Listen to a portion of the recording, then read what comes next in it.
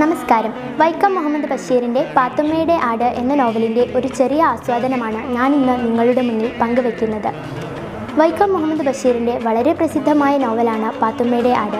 ആയിരത്തി തൊള്ളായിരത്തി അമ്പത്തി ഒമ്പതിൽ പ്രസിദ്ധീകരിച്ച ഈ നോവലിന് പെണ്ണുങ്ങളുടെ ബുദ്ധി എന്ന പേരും കഥാകൃത്ത് നിർദ്ദേശിച്ചിരുന്നു.